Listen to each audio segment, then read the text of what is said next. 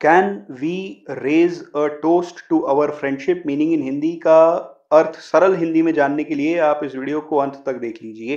देखिए, जैसे हम सभी अपने मित्रों के साथ एकत्रित होकर बैठते हैं, उसी प्रकार पाश्चात्य सभ्यता के लोग भी करते हैं।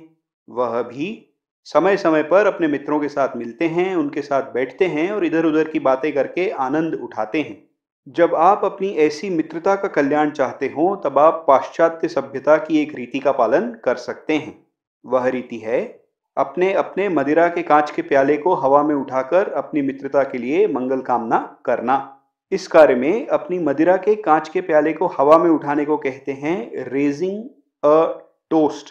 और इस कार्य को करते हुए यह कहते हैं कि can we raise a toast to our friendship? इस वाक्य का भावार्थ यह है कि आप सभी मित्र जो उस समय एकत्रित हैं, वह सभी अपने अपने मदिरा के कांच के प्याले को हवा में उठाकर यह मंगल कामना कर रहे हैं कि आप सभी की यह मित्रता सदैव ऐसी ही बनी रहे और समय के बीतने के साथ और अधिक पुख्ता होती रहे।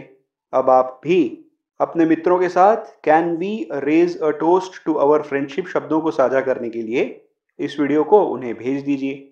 मेरा आपसे आग्रह है कि यदि आपने अभी तक नहीं किया है तो मेरे इस चैनल को सब्सक्राइब कर लीजिए। मेरे वीडियोस को देखिए लाइक करिए शेयर करिए कमेंट करिए और यदि स्पोकन इंग्लिश विषय से संबंधित आप कुछ भी जानना चाहते हैं तो अपने प्रश्न मुझसे कमेंट सेक्शन में पूछिए।